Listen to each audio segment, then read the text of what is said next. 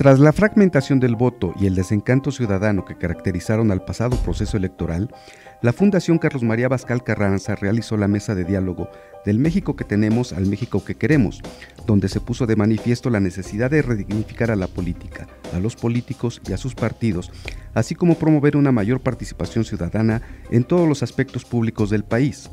Rodrigo Abascal Olascuaga, presidente de la Fundación, advirtió que es imperativo poner a la persona humana en el eje de las decisiones y propósitos de la política y los políticos. Ante el descrédito en que han caído los partidos políticos, los políticos, la política en general,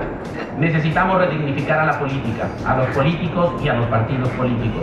poniendo en el centro, en el eje de sus decisiones y propósitos a la persona humana. La rehumanización de la sociedad tiene como premisa fundamental y necesaria la rehumanización de la política, la recuperación de su alta misión como suprema actividad ordenadora al servicio de la persona y del bien común. Precisó que México necesita de políticos que, en primer lugar, se asuman como personas y que vean en sus representados a personas idénticas en dignidad, en derechos y en obligaciones. Entonces necesitamos que las y los políticos se asuman como personas y que sirvan para enaltecer la dignidad de las personas que nos han elegido.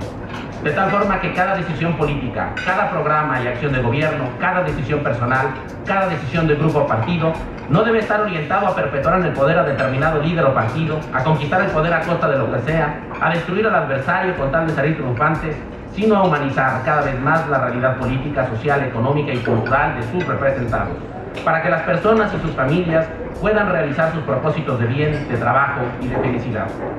Rodrigo Abascal exhortó a la sociedad a privilegiar y asumir los valores de honestidad y congruencia, con el propósito de contribuir a la construcción de una mejor nación.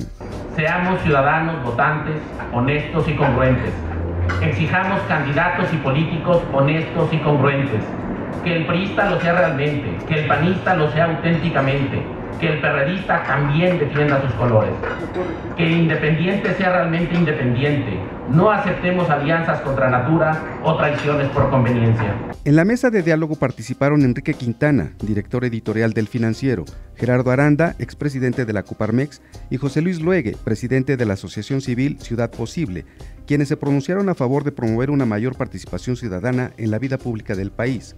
coincidieron en la necesidad de que los partidos políticos, principalmente los llamados tres grandes, PAN, PRI y PRD, se deben renovar y fortalecer, pues de continuar la tendencia del voto fragmentado, en 2018 se podría correr el riesgo de llegar a una ingobernabilidad que a nadie favorecería. Asimismo, puntualizaron que de cara al futuro inmediato, el gobierno federal deberá redoblar esfuerzos para mejorar la situación de los mexicanos, en tanto que la sociedad civil tendrá que ser más participativa y los partidos políticos modernizarse, ya que las expectativas políticas y económicas del país no son del todo favorables. Con imágenes de Liliana Jiménez, para yoinfluyo.com, Antonio Gutiérrez Trejo.